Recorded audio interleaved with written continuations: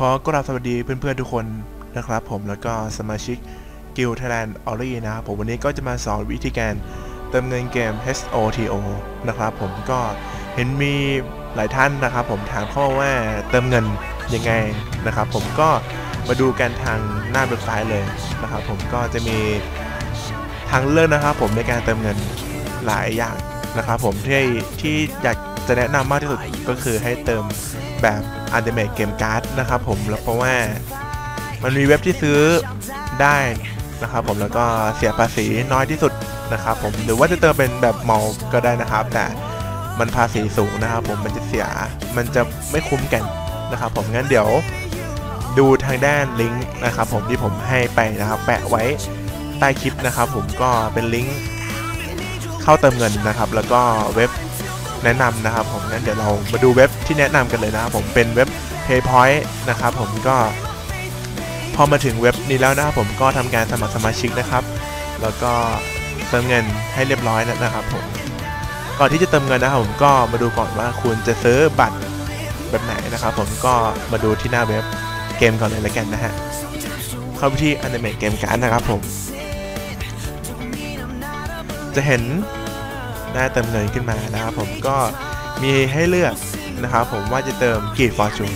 นะครับผมก็จะเติมเป็น 5 US หรือว่า 10 US ก็แล้วแต่ท่านนะครับผมว่าจะซื้อสินค้าตัวไหนในเกมนะครับ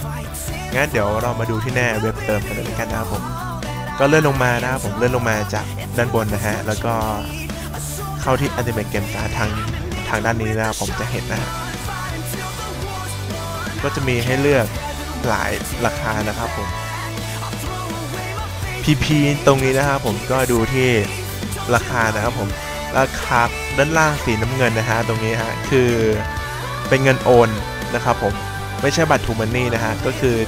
การเติมเข้ามาเว็บที่ PayPoint จะมีการเติมอยู่ 2 รูปแบบนะครับผมเป็นเติมแบบโอนเงินนะครับผมแล้วก็เติมกับ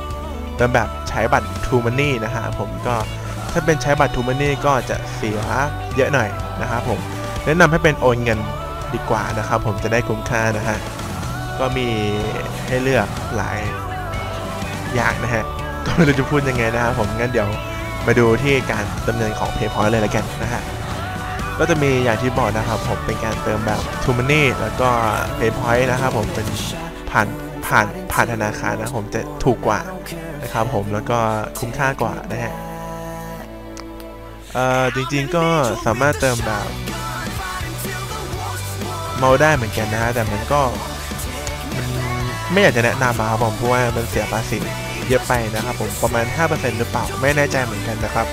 ยังไงก็ขอจบคลิปเพียงเท่านี้ก็แล้วกันนะครับผมสำหรับท่านใดที่มีคำถามนะครับผมก็สามารถคอมเมนต์เข้ามาได้เลยนะครับผมที่หน้าแฟนเพจของเรานะครับผมขอบคุณมากครับ สวัสดีครับ